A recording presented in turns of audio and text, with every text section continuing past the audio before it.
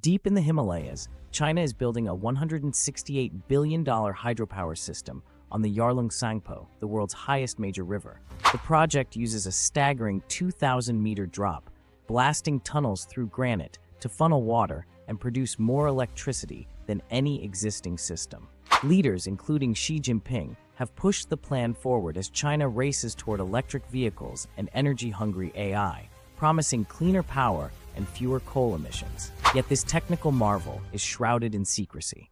Locals whisper about disrupted lives and ancestral lands swallowed by construction. Environmentalists warn a pristine alpine ecosystem and rare species could be harmed. Far downstream, tens of millions in India and Bangladesh rely on the river. Experts say impacts there are poorly understood, stoking headlines calling the plan a water bomb. The project's location near disputed borders adds geopolitical risk, with potential to inflame China India tensions. This is a story of ambition and trade offs climate gains and energy security on one hand, transparency, ecological protection, and regional trust on other.